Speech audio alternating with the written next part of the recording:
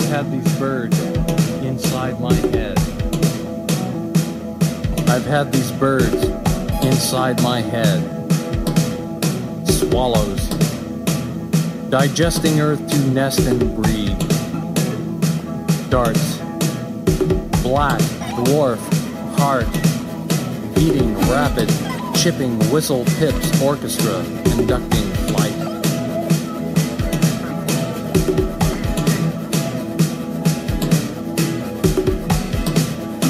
multifariously layered planes. No sailing on heat, no simple soaring. Single action pump, maneuvering bullets, living standard for missile.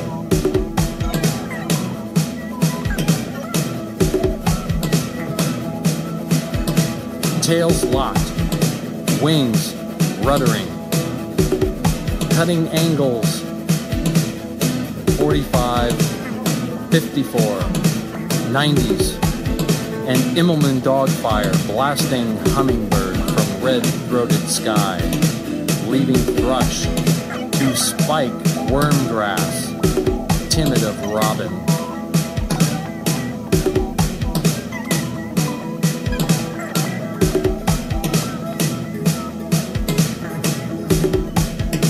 Wind milling pestilent blue heron, one stick in water. Woodpecker driving nails into Sunday skulls, eagle claw flying baby away. Swift, bank, shimmering, nighthawk, forktail, sweep, green-breasted mud spitting switchblades, and brother dove is a sucker scrambling. Fear the cyclone weaving purple black wing.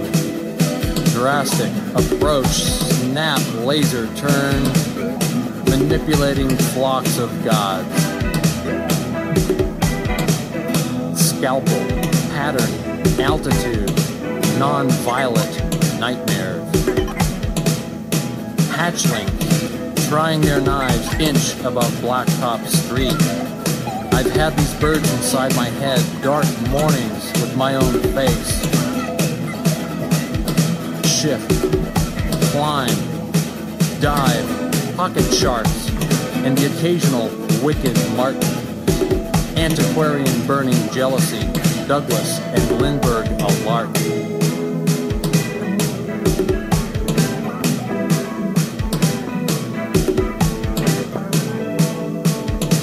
Pitiful us without flight or elegance.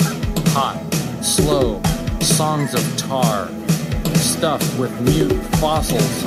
Our music, incompatible with nature, rarely worth singing about. Birds never flock to guitars.